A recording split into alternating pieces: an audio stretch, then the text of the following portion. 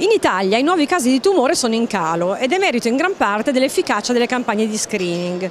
L'adesione a queste campagne però è ancora insufficiente. Di questo tema e di come migliorare la situazione si è dibattuto qui a Roma al ventunesimo congresso nazionale dell'AIOM, l'Associazione Italiana di Oncologia Medica. Noi abbiamo colto l'occasione per parlarne con la professoressa Stefania Gori. Professoressa, perché sono importanti le campagne di screening?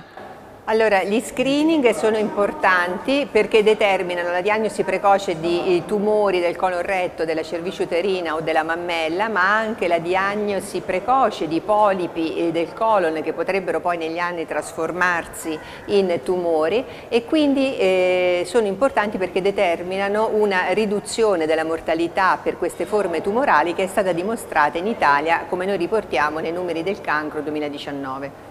A che punto siamo con l'adesione alle campagne di screening in Italia? Gli screening sono attivi in tutta Italia, ma l'adesione agli screening, tutte e tre gli screening, è molto bassa rispetto alla media nazionale eh, nelle regioni del sud e insulari. Questo potrebbe anche spiegare eh, la ridotta sopravvivenza a 5 anni che noi registriamo nelle persone che hanno avuto un tumore globalmente nel sud e nelle isole rispetto a quanto avviene nel nord, a fronte invece di un aumentato numero di diagnosi di tumori maligni al nord rispetto al sud ad isole. Ecco, voi come AIOM in particolare che cosa chiedete alla politica per appunto migliorare la situazione di queste campagne?